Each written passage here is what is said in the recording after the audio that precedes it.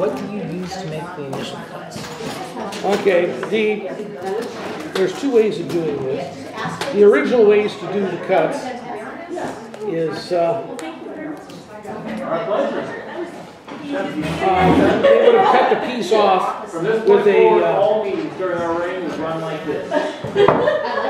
would have been with a uh, small, uh, uh, an apprentice, probably five, six years old. They Would have taken a piece of uh, a stone like that, and the saw they had then would have been basically, the easy way to describe it was a, a flat tin candler, just flat metal, coming up against it, and they would drip a slurry of uh, powdered ruby out.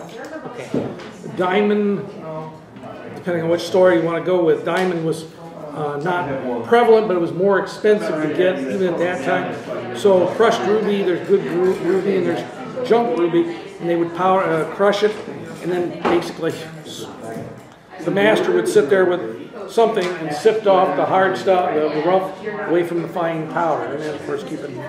Uh, the original stones they would cut I'll show you on, on, to duplicate, you can't find the machines anymore. It's not happening. So basically what has happened now, this is a dying art, very dying because it's not happening anymore. Um, because it takes uh, too much time to do this. There's only 77,000 of us still floating around doing this. You're talking about doing it without um, Power equipment. power machine. Okay. Well, even, even with power equipment, there's only 77,000 of us. Yeah, because they're also going CNC, going computer control. oh, so the computer does the whole thing. Yeah, computer. I want to read that, but I want to watch what you're doing. Yep. What I'm doing now.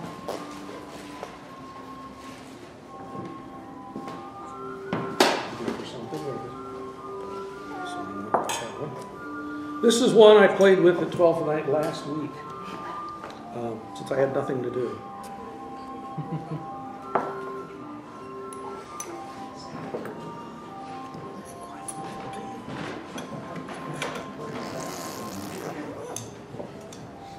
Now, this is this would have been the next generation up. Um, what I'm doing is this little plate has got holes in it, which allows me to uh, change my. Uh, um, I'll let you look, you can take a look at it. You can see on the back side of it, you'll see the uh, there's holes in there, and that allows me to align each facet. Um, that would have been uh, uh, the second generation. The first generation would have been um, uh, a little rougher uh, because you had to line up every facet when you started out by hand. So that one I've already roughed out roughly. Uh, these are uh, uncharged copper plates. Used copper plates at that period of time and same today is because diamond or ruby, sapphire, or whatever you're using. I say ruby or sapphire, it's usually about nine in hardness. So it makes a difference. I'm playing here, this is the cheater way. Normally we used a uh, uh, other way of doing this was to take a block of, uh, of hardwood, mahogany, something super hard, and boil it three or four weeks in beeswax. And then scrape it off, and they would make, get it, I'm going to say flat, please accept the word flat, because their term flat and our term flat is not the same.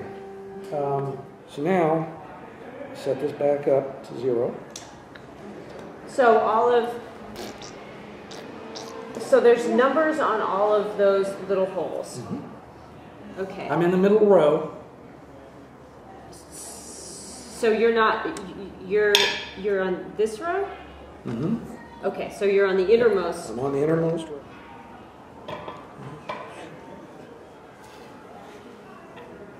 Nothing I've got here is anything you could actually purchase, by the way. This is all stuff that uh, you can actually get on the market.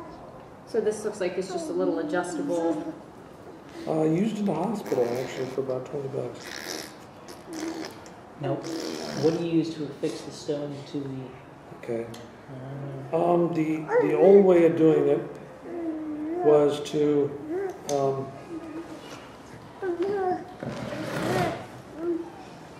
you use pine pitch or a mixture of something.